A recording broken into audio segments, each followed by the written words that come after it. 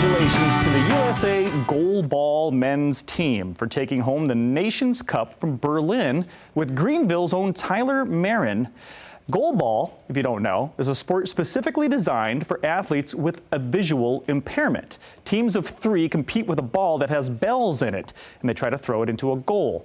The Americans outscored their opponents 78 to 37 and reached double digits in five of their seven games. And the Momentum Center in Grand Haven is launching a summer teen program that focuses on relationships, mental health, and well-being. It's open to members ages 13 to 18, and membership is just $1 per year. Activities include tie-dye arts and crafts, games and community outings. It will run on Tuesdays and Thursdays from 2 to 4 in the afternoon from June 20th to August 24th. There are also volunteer opportunities available. You can learn more at momentumcentergh.org. And check this out. This is being called a once in a lifetime shot. Amadeus Tafe, he's a student at Muskegon Community College and he achieved what's called a bullseye Robin Hood during archery class. You see that, that extra long arrow? It's not just one. Yeah, most archers never can do this. It happens when that incredibly precise shot splits the first arrow in half. And Tafe did it in front of his teacher and his class.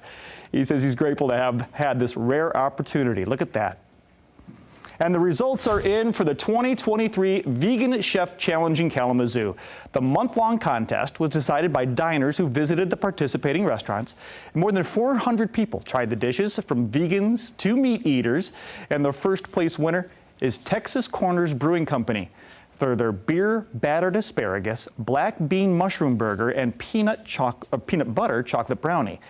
Second place, Crow's Nest for their Vine Street vegan cheesecake or cheesesteak, and there was Center Street Tap House with the best dessert. Hey, now there are already plans for this event to return next year. You want to see a full list of the winners and to learn more, go to veganchefchallenge.org/kalamazoo.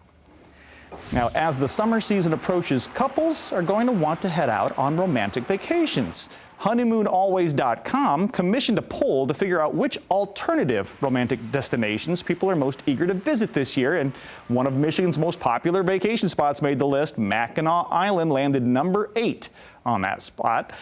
Uh, it's no surprise. You got look at the shoreline views, lush gardens. You get to escape from the hustle and bustle of modern life to reconnect with each other. Now, the top three romantic destinations were St. Augustine, Florida, as well as two other locations in Hawaii.